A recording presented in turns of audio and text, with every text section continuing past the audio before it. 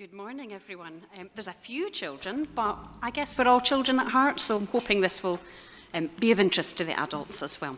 So we should have a presentation come up with some images, and I've also got some things, interesting things in my bag. Oh, there we go, which are all about things that we make or build to help keep us safe. So, anyone recognize that one? Go on then. It is. Well done. I didn't know that the children would know that one. Now, castles were built long time ago, weren't they? When people didn't feel very safe, did they? Because sometimes there were people out to get them, armies or whatever, and they had to build big strongholds, often up on hills. Sometimes, Inverness Castle isn't like this, but sometimes with moats or drawbridges, don't they? So to keep them nice and safe, they would build a castle. Have we got the next picture, in Marie? Now, I quite liked that one. So I don't know how safe that is, but it's shelter, isn't it? Um, and it's not people, it's horses or ponies that are under that shelter. But again, it's a makeshift shelter that will keep them protected from maybe the rain, maybe a wee bit of the cold, and keep them a bit safer. Maybe not as safe as a castle, but that's something that they would build to protect them from the wind and rain. Next picture. If it's coming, there we go. Now, I wasn't sure whether this was a hurricane shelter or a bomb shelter or even whether it was in current use, but it's a shelter that you might build if something was happening that you had to flee for safety. So it could be, um, for some countries, sadly, they're under attack, aren't they? So they might need to shelter in something like that that looks to me like a bomb shelter. So again, something to keep us safe. Um, and I think, I can't remember how many more I've got. Is it one or two? Well, I think there's one last one. Oh, there's two actually. So this, you might have seen this in buildings in the event of a fire. And it's where you're meant to go, assemble or um, meet together so that you can be counted to make sure you're safe, so that everybody that was in the building is counted for if a building is on fire or there's danger. So again, it's a safety point, isn't it? Far away from the building where you can be checked to see that everybody's okay. And the last one, I think, and then I'll get to my bag. Yeah, I just, I quite liked that. It's just a picture, I think, of somebody being hugged by someone else, and it talks about a safe place. Now, I'm not sure where a safe place for that sign might be, but we'll perhaps think as we go through this talk about where a safe place might be for us.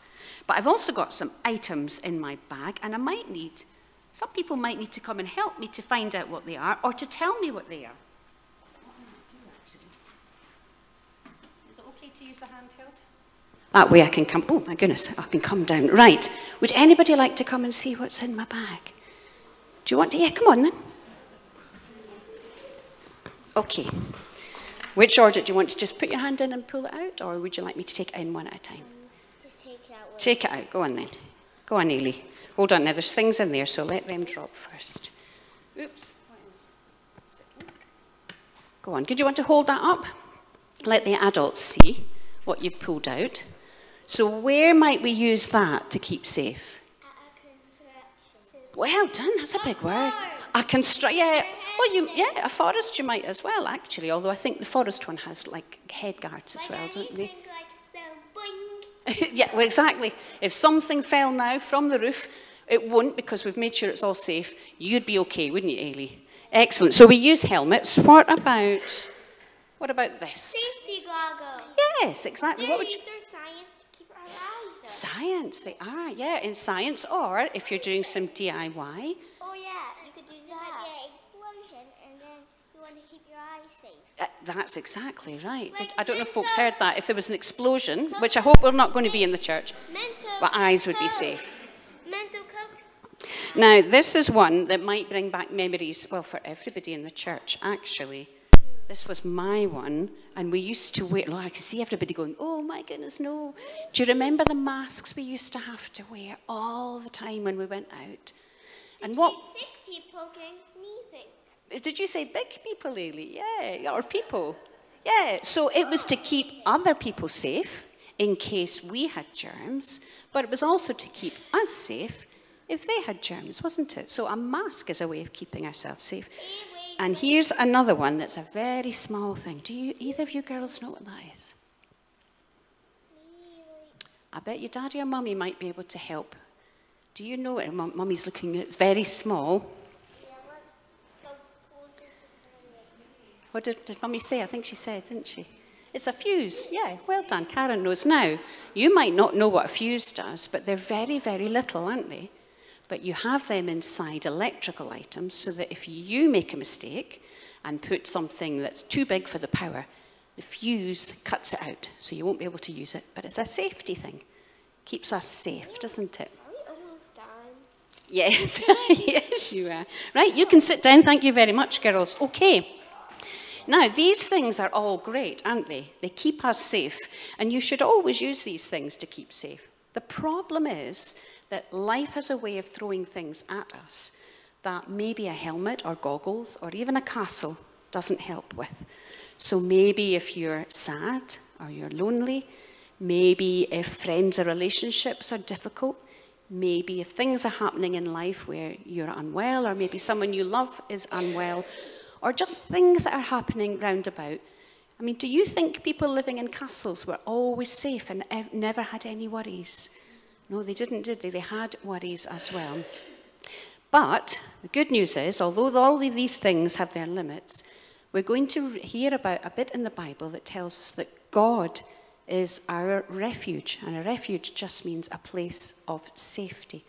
So when everything else happens in life, and when some of these things aren't working or aren't able to help, we know that God is always able to keep us safe and protected. a bit like some of the things we saw, but much, much better than that. So we'll remember that as we go through the service. Now, for the littler ones, or the bigger ones if you want, there's some activities up the back if you want to do it. There's a word search and there's some pictures and so on if you'd like to do that um, during the service. Or you can stay and listen as well. But before we do that, let's do an action song.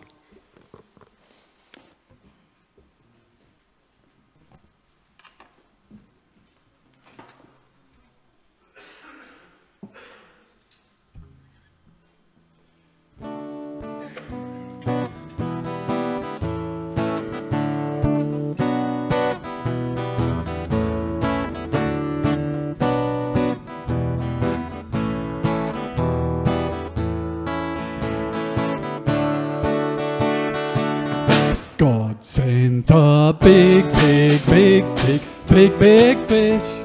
A big,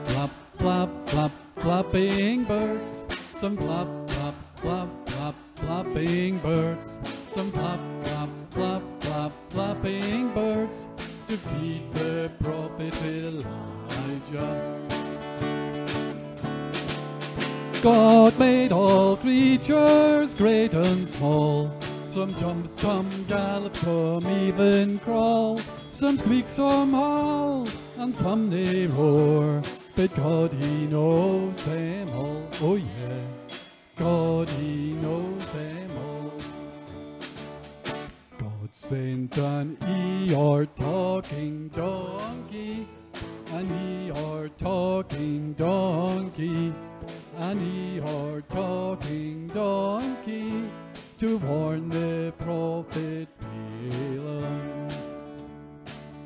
God made some fierce roaring lions, some fierce roaring lions, some fierce roaring lions to be nice to Daniel.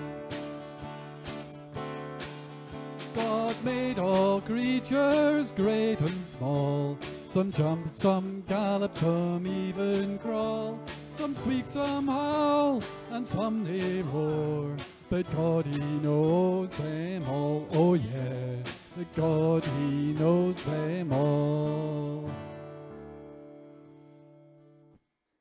Good Gerard.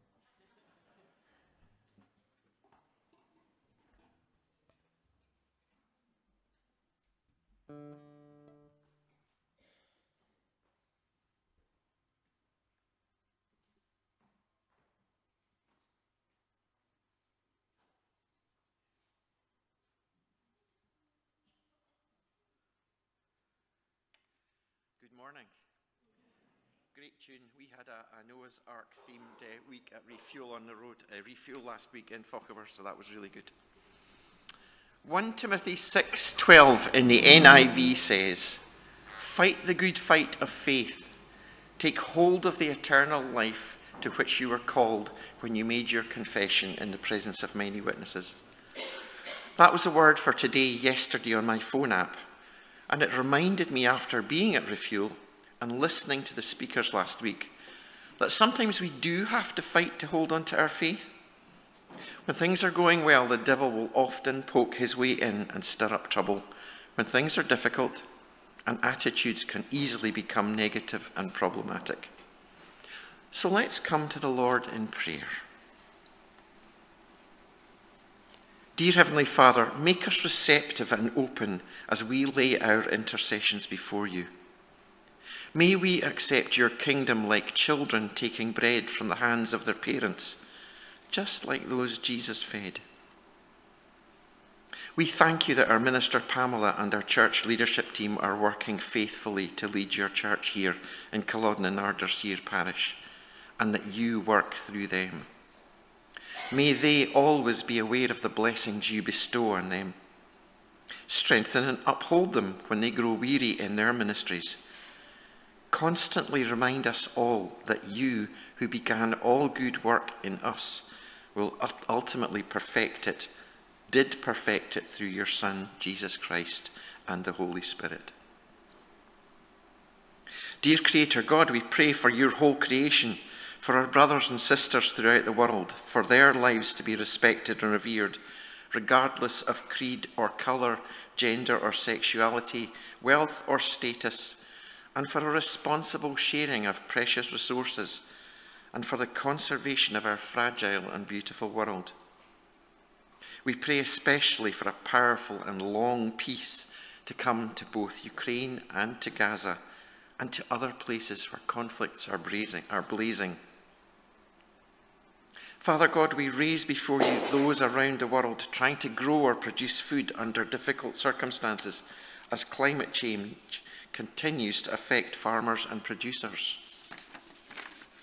We pray for food processors and manufacturers and crop buyers to treat farmers fairly and not to tie them into impossible contracts which they cannot control. We also pray for people throughout the world who are struggling to cope with the effects of climate change. Shortages of food, flooding, excessive heat, especially the frail and elderly and others at those risks. Loving, gentle, but powerful healing God, please bring your miraculous healing to all who are sick in body, mind, and or in spirit. Make whole those who are broken and shed light wherever there is darkness. Hear now in a moment of silence our individual prayers from our hearts for those we name and lift before you, that we know and have asked you to heal.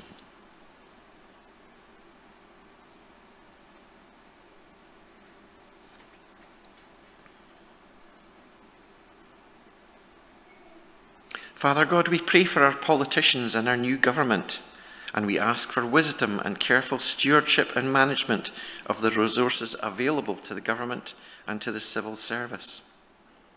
We pray for local government too, facing tough choices on what to do with the money and resources it has. We pray for America and what seems to be a very polarised election campaign, which seems to have started very early. And we ask for people to look deep into themselves there as they consider who to vote for as president in November. Merciful God, we thank you for those who have travelled before us on the way of the cross and are now at peace in your eternal presence. Help us to live always mindful of your promise to us that that road of faith will lead into your heavenly kingdom. In a moment of silence, we bring before you those on our hearts who have passed recently or whose anniversary occurs at this time.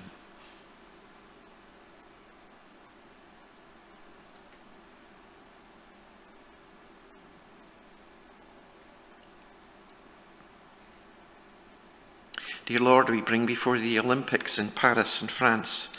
And Lord, we just ask that the sporting events would pass peacefully without trouble or more trouble, and that the athletes would take part in a fair and thoughtful manner, considering the other athletes they're competing against in everything they do.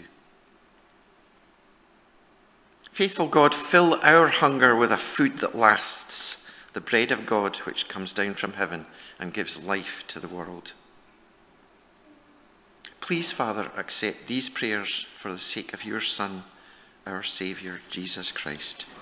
Amen.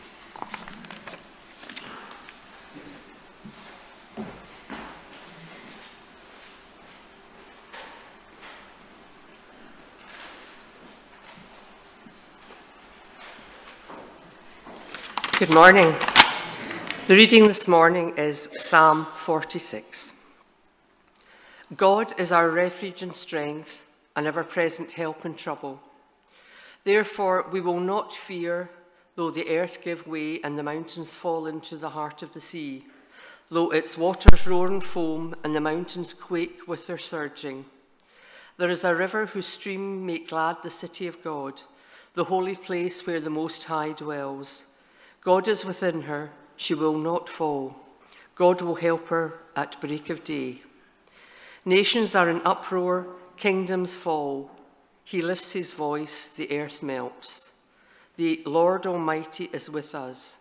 The God of Jacob is our fortress. Come and see what the Lord has done, the desolations he has brought on the earth. He makes wars cease to the ends of the earth. He breaks the bow and shatters the spear. He burns the shields with fire. He says, Be still and know that I am God. I will be exalted among the nations. I will be exalted in the earth. The Lord Almighty is with us. The God of Jacob is our fortress. Amen.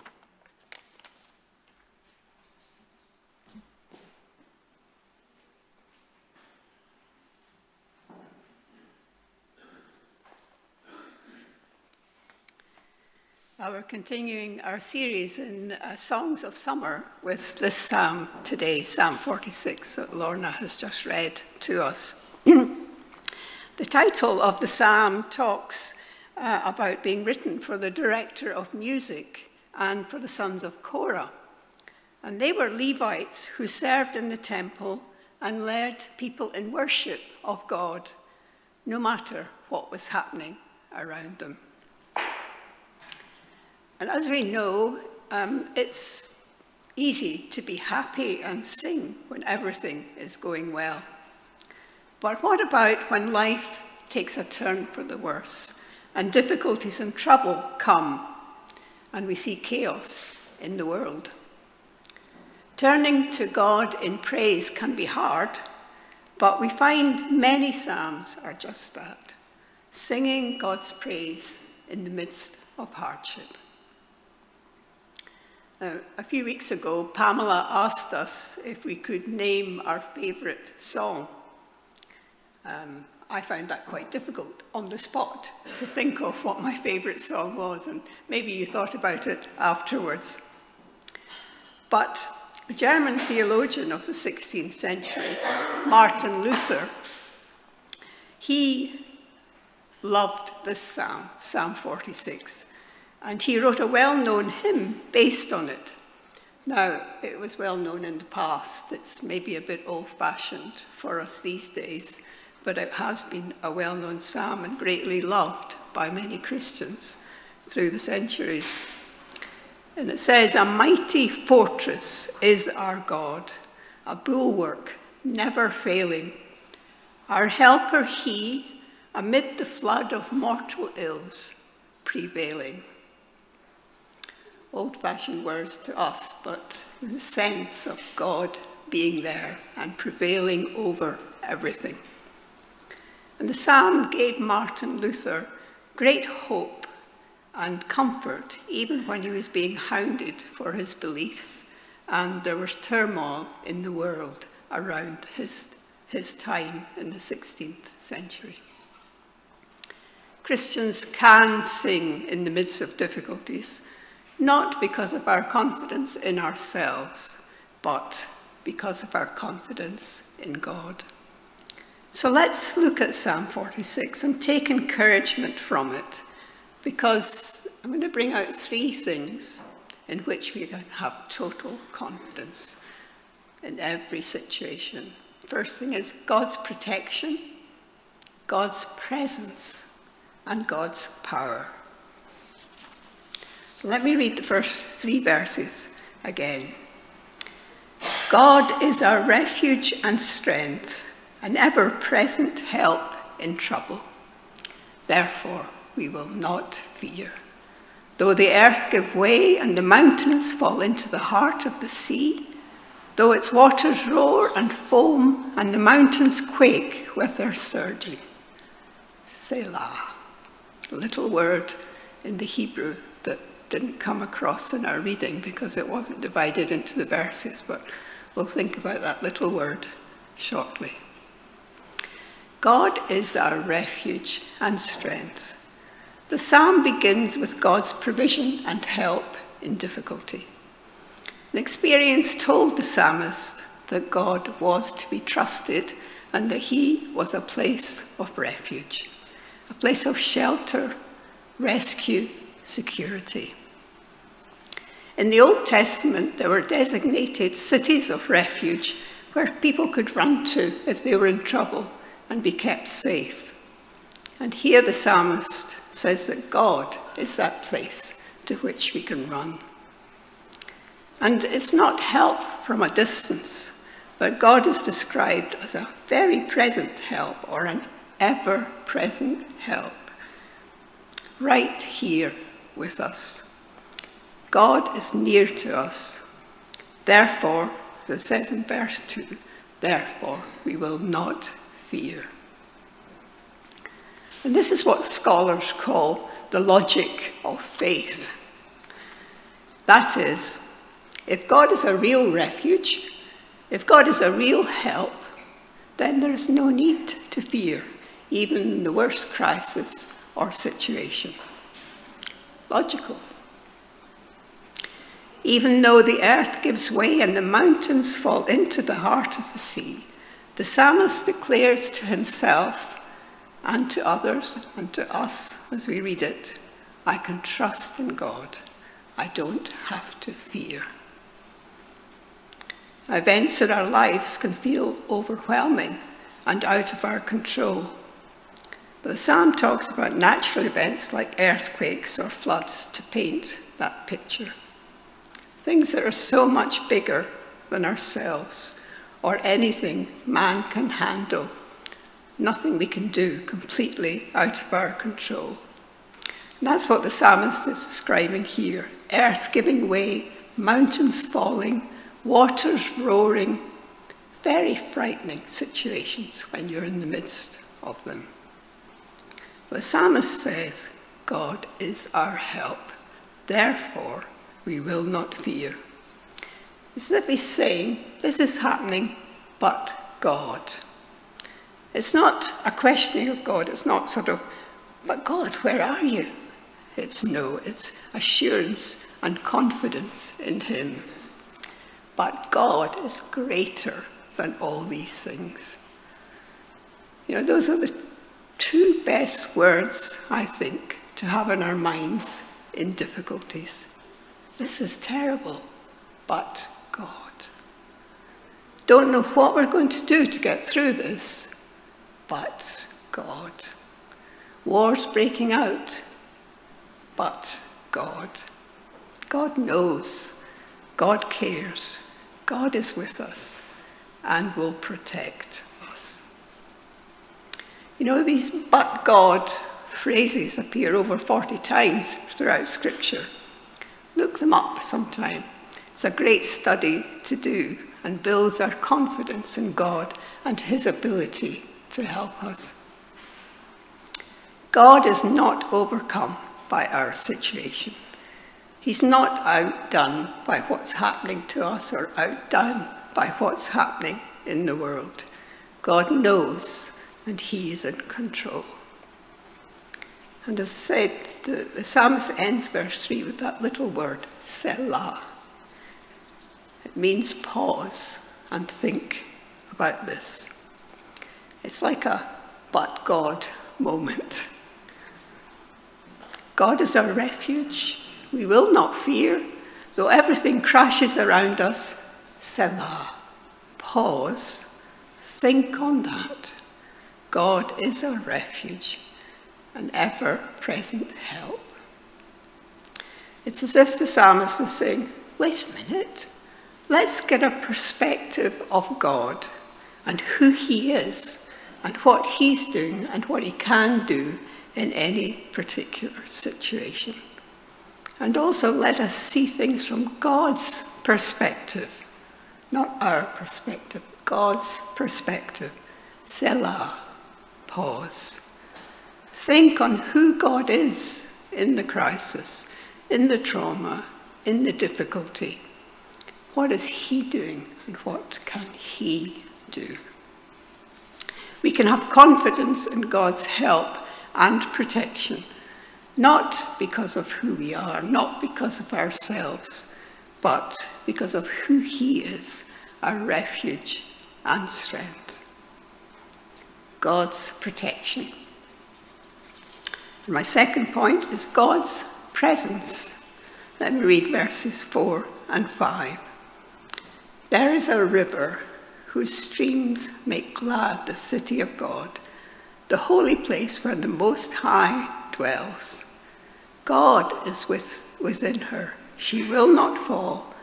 God will help her at break of day. In the midst of difficulty and uproar, there is a river. I love that phrase because in Scripture it conjures, up an abundant, constant provision of love, mercy, healing, joy, peace. There is a river. And the river is, is a symbol of blessing and God's presence. And we find the river right through Scripture, from um, Garden of Eden in Genesis, and right throughout the Old and New Testament, till right at the end of Revelation, at the end of the New Testament, where it talks about the river of life. And for us as Christians, it's the very presence of God living in us through the Holy Spirit. Remember what Jesus said to the woman at the well in John chapter 4. Whoever drinks the water I give him will never thirst again. The water I give him will become in him a spring of water welling up to eternal life.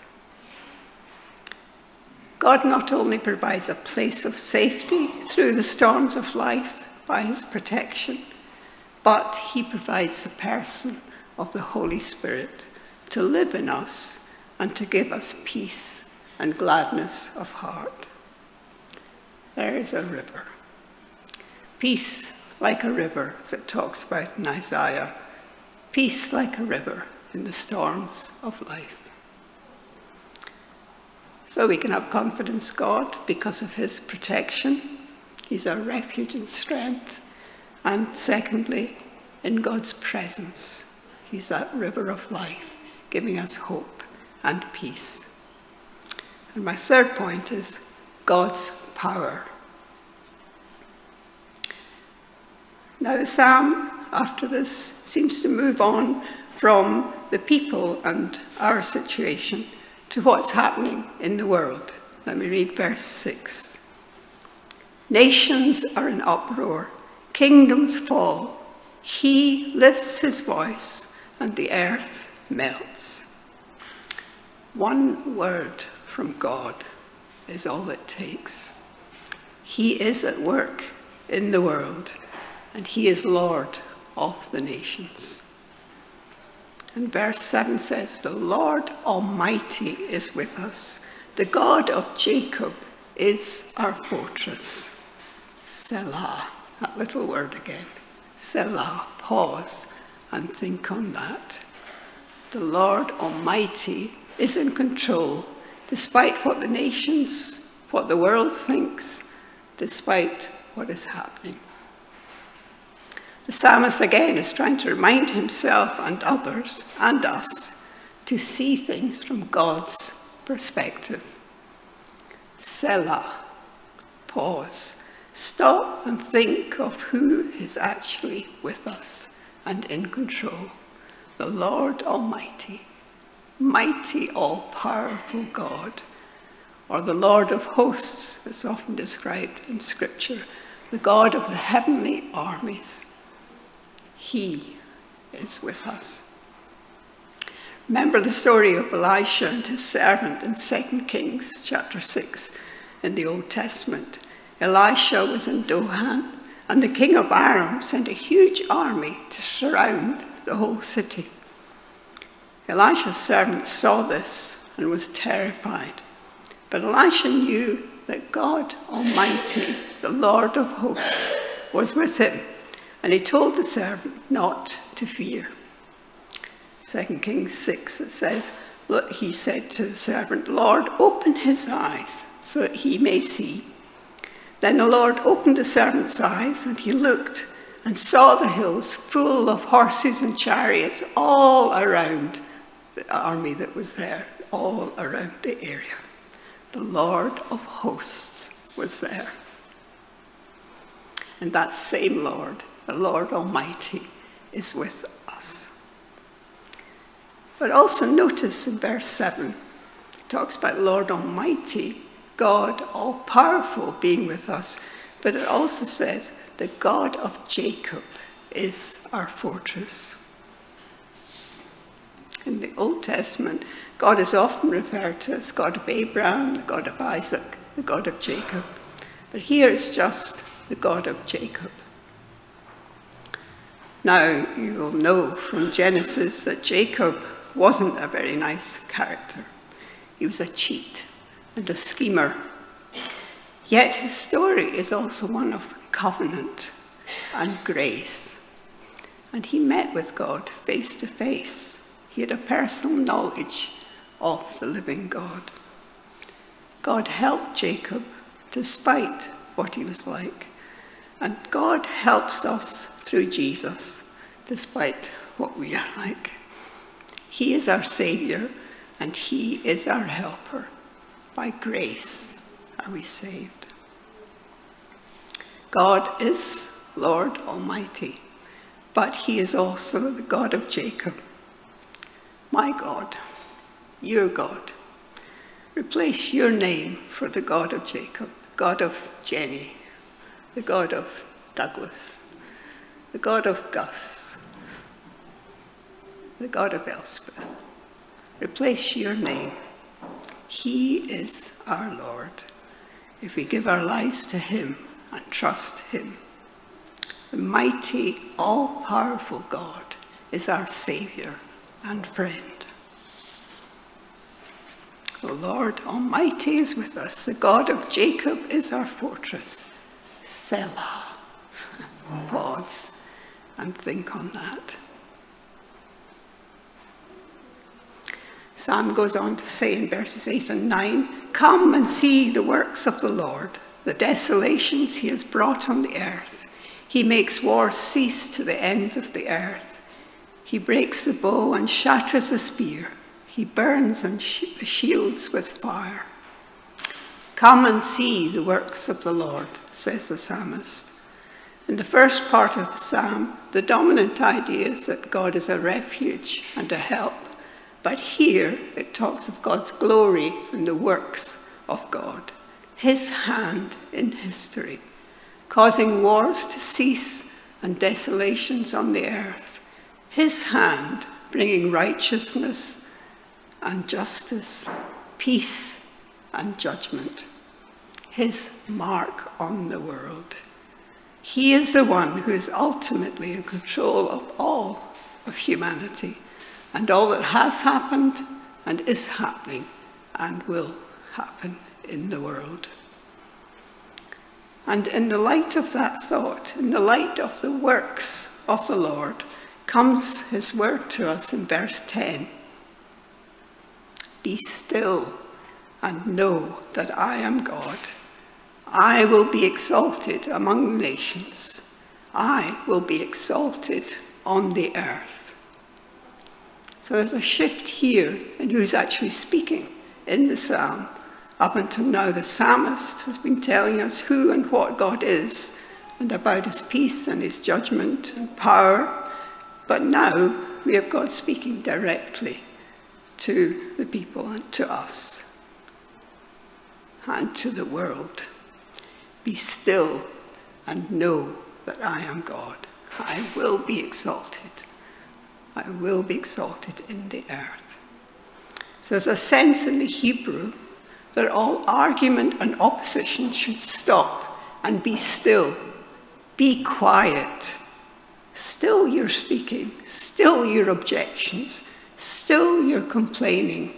Still your boasting. Derek Kidner, a British Old Testament scholar, said, Be still is not in the first place comfort for the harassed, but a rebuke to a restless and turbulent world. Quiet. In fact, leave off your nonsense. So it's not advice to lead a contemplative life. Yes, times of quiet and stillness are really important for us to focus on God. But in this setting, in this the context of this psalm, it's really a matter of stop your complaining, stop your arguments, stop relying on yourselves, stop thinking that man has the answer to all the world's problems.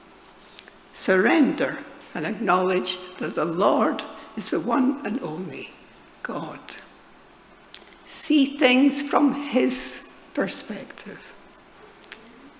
Be still and know that I am God. I don't know if you've ever been in a place in nature which causes you to be struck silent with the awesomeness of the beauty and glory around you. I've traveled to many places in the world that are just amazing but I remember that um, the time that I went to Victoria Falls in Africa was one of those awestruck moments. The volume and noise of the water falling into a narrow ravine and the amazing immensity and power of the water and the spray rising for miles. People could see it for miles and the local people called it the smoke that thunders. Just the amazing nature of the power. I could only look at it in silence and awe. And that's what this is. Be still and know that I am God. Silent and awestruck by who God is.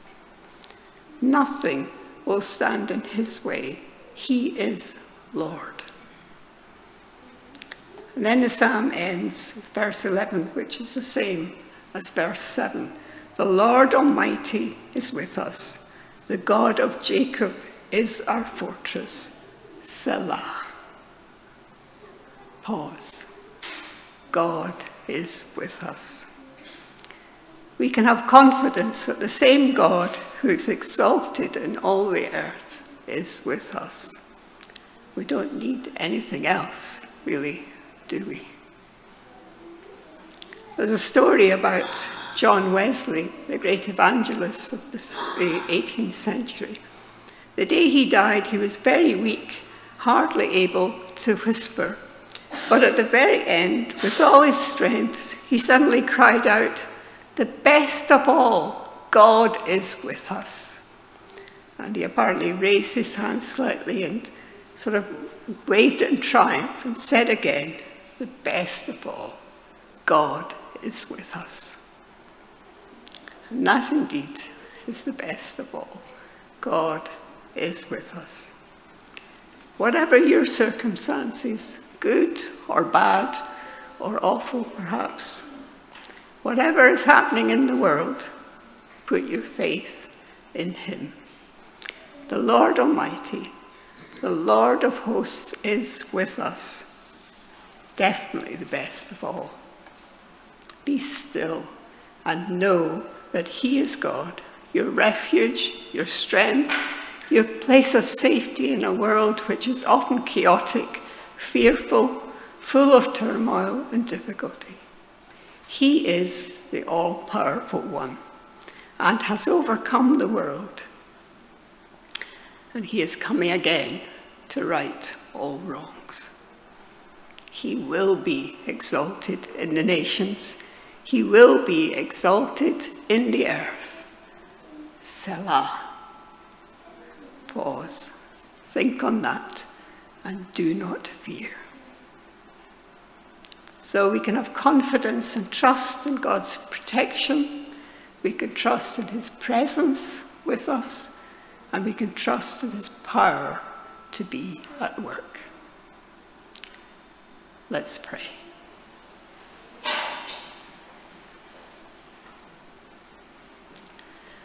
Lord, help us to find our place of peace and refuge in you.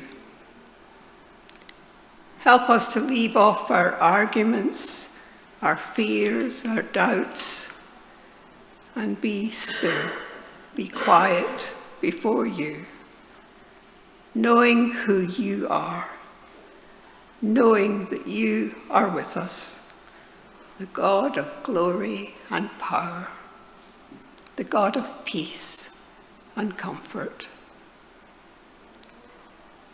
Our confidence is in you, our Lord and our God. And our hearts say with John Wesley, the best of all, God is with us. Through our Lord and Saviour, Jesus Christ. Amen.